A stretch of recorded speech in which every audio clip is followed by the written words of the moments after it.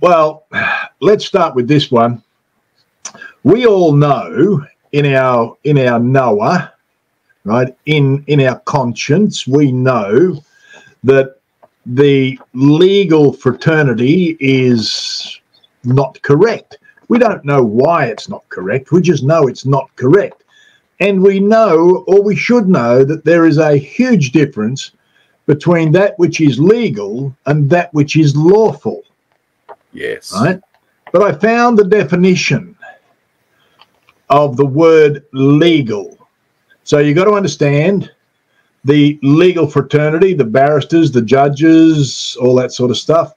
The parliaments pass laws that are legal.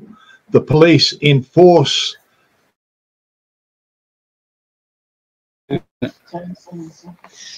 So this was sent. Um, I, it it knocked me clean off my socks. I tell you. Legal def the definition of the word legal. Um, it can be found.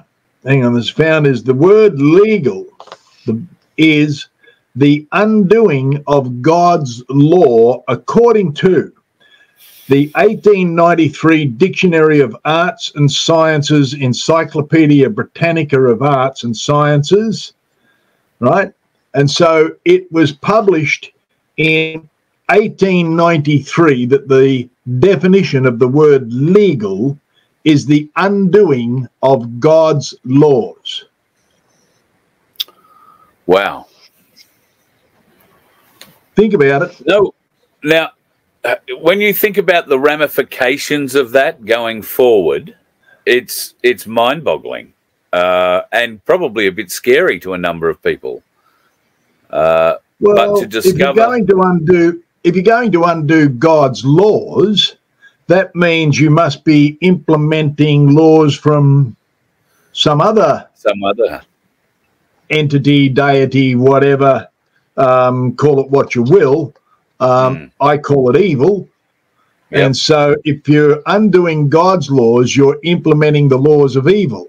So, in this, we've got to go back to scripture, and it says, You may be in this world, but you are not to be of this world.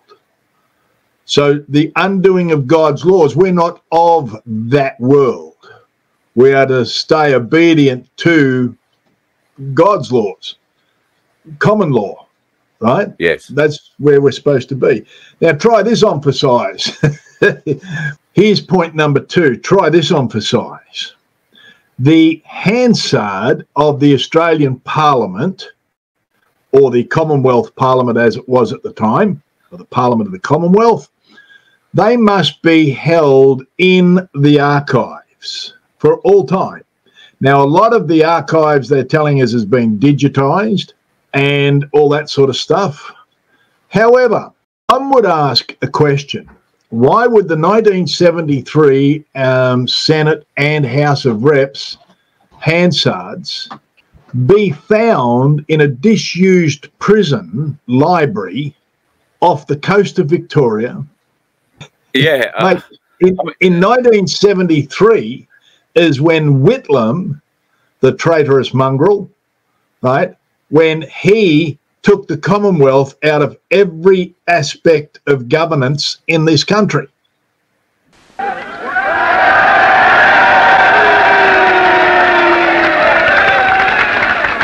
Well, may we say, God save the Queen. Because nothing will save the Governor General.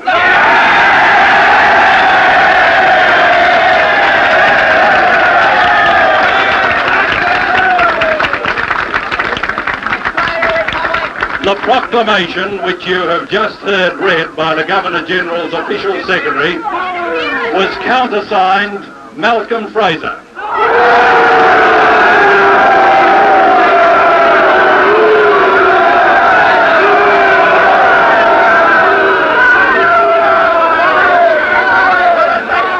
who will undoubtedly go down in Australian history from Remembrance Day 1975 as Kerr's cur.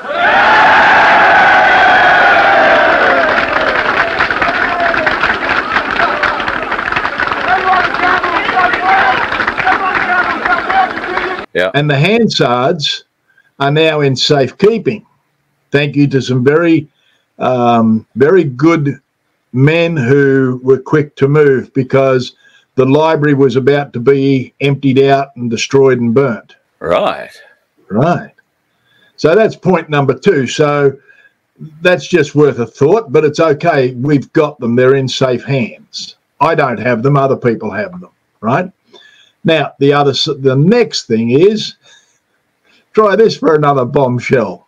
The Australia Act. Oh, well, I was talking to a gentleman in Victoria the other day who I was introduced to by a friend of mine who was the guy who put me on the quest of the Constitution 36, 37 years ago, right? He yeah. introduced me to this uh, other friend of his, and this friend of his and a couple of his mates were onto the Australia Act right from the get go. And these men are highly intelligent, very, very, um, oh, what would I say, astute. They were both astute biblically and astute legally.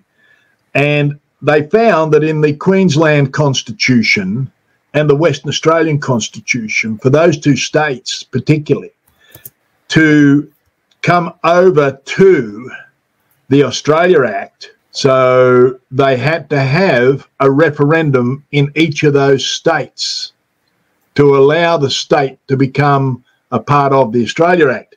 Those referendums right. were never held.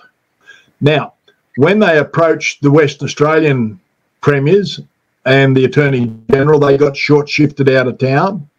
When they spoke to Joh Bjelke-Petersen, who was a monarchist, Joh was beside himself. His advisors, and here we go again, the advisors had told him everything was okay. They showed him in the document where it wasn't he was he was beside himself and he wanted to have the referendum, but that was he was stopped from doing it by the attorney general and a couple of other people because all the um, all the arrangements have been made for the Queen to come to Australia.